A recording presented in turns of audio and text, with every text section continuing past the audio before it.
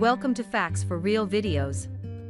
While the construction of a new high-rise draws much attention, in reality, demolitions can be far more impressive. Particularly in sizable, densely populated cities. So let's look at the world's tallest demolitions. Number 8, the Ocean Tower. Our first tower was near SpaceX's new spaceship facility on South Padre Island in Texas. Its previous height was 115 meters, or slightly over 375 feet. It dropped in 2009. The structure was planned to house opulent condos with a spa, gym, and swimming pool for residents to use. However, the support columns of the Ocean Tower began to show signs of cracking after two years of development. It was out that the tower's base had sunk by over 16 inches.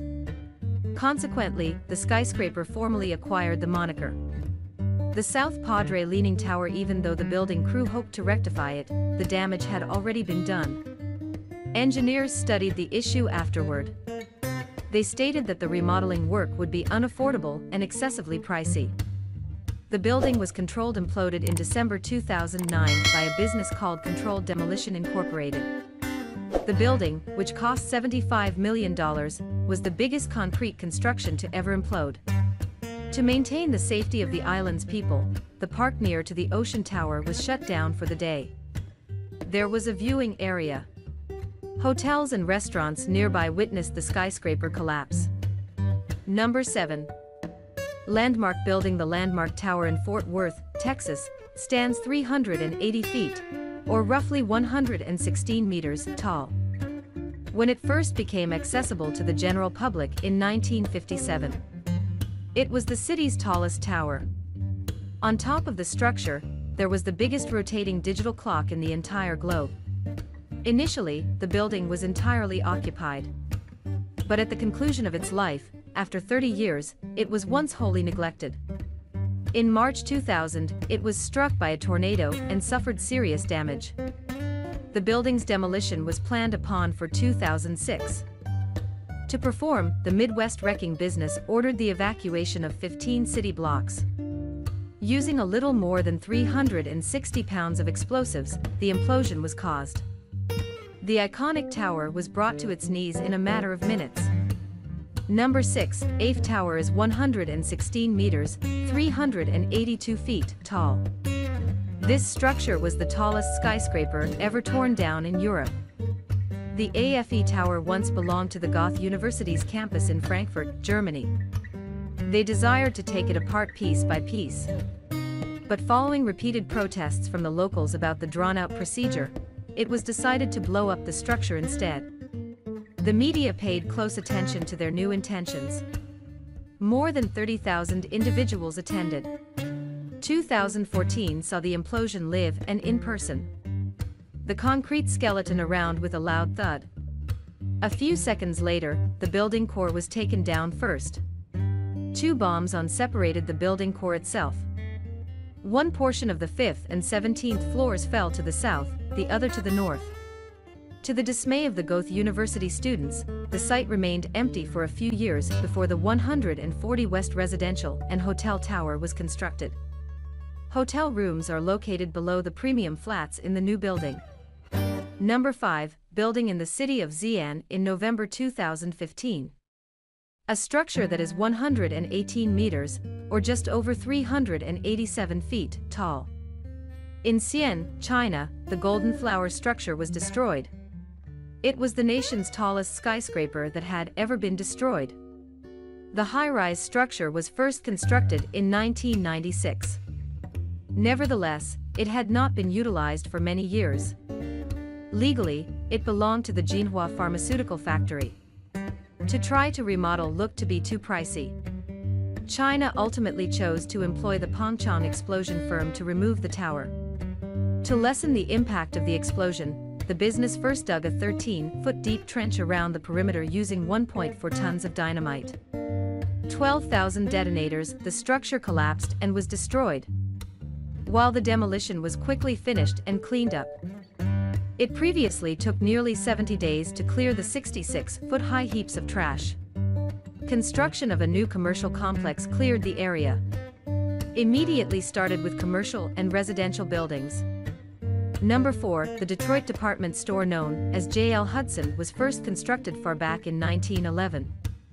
One of the most outrageous demolitions ever took place in Michigan.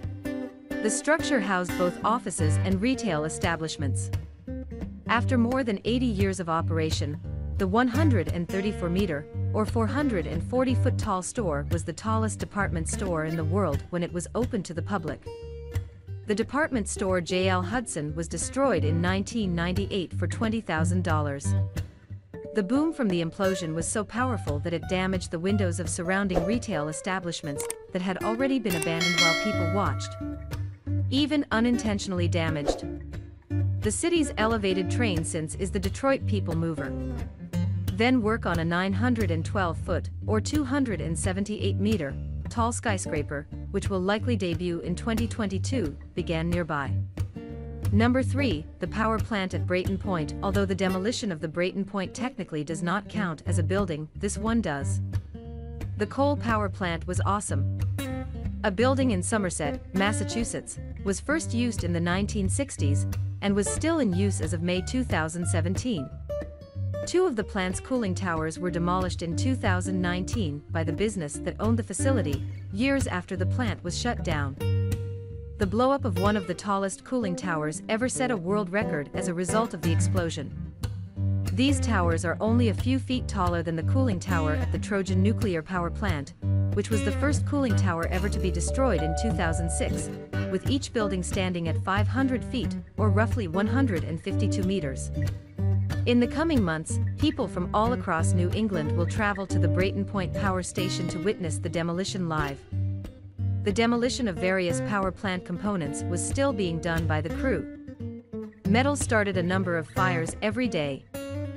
Following these explosions, which made the demolitions even more bizarre. Number 2 Mina Square This tower's construction was never finished. While the Mina Plaza continued to profit the name of the tallest structure to be destroyed. The plaza had four distinct towers that were each 165 meters, 541 feet, tall when construction first started. In 2007 at the Mina Plaza. They started building in 2008, but stopped in 2012 owing to a disagreement with the owners, even though they had intended to finish in 2014. The structure was left unoccupied. In 2020, the administration in the capital chose to demolish because to financial problems.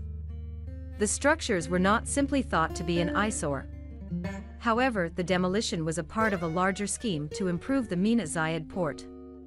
Making sure no one in the capital of the United Arab Emirates, Abu Dhabi, would be hurt by the implosion was a priority for the team in charge of destroying the Mina Plaza. They conducted an analysis of the structure and its surroundings to determine the safest demolition method, which involved utilizing 13,000 pounds of plastic explosives. Three of the towers collapsed first as they fell to the ground. But all four were transformed into enormous mounds of debris after 10 seconds. Number 1, Power Plant Westerholt. Our first choice was going to be Mina Plaza. However, we didn't want to hold back. Standing at 337 meters, or 1,105 feet tall, this last demolition is from you. The highest controlled structure ever to be destroyed was the chimney of the power plant Westerholt. The former 165-meter tall Mina Plaza is not the only megatall chimney that has been demolished, there are several others as well. The highest chimney in Germany, however, was completed at Westerholt in 1981. A year after the power plant's decommissioning in 2005, the chimney met an unhappy end. Numerous onlookers gathered to see the explosion and take pictures as the building was destroyed at two distinct levels, with one explosion occurring near the bottom and the other in the middle. That it actually prevented the team from promptly demolishing the building. The chimney was nothing but a huge pile of junk. Please let us know which of these demolitions was your favorite in the comments section below. Please hit the like button and subscribe to our channel if you haven't already. I appreciate you watching. I'll see you again soon.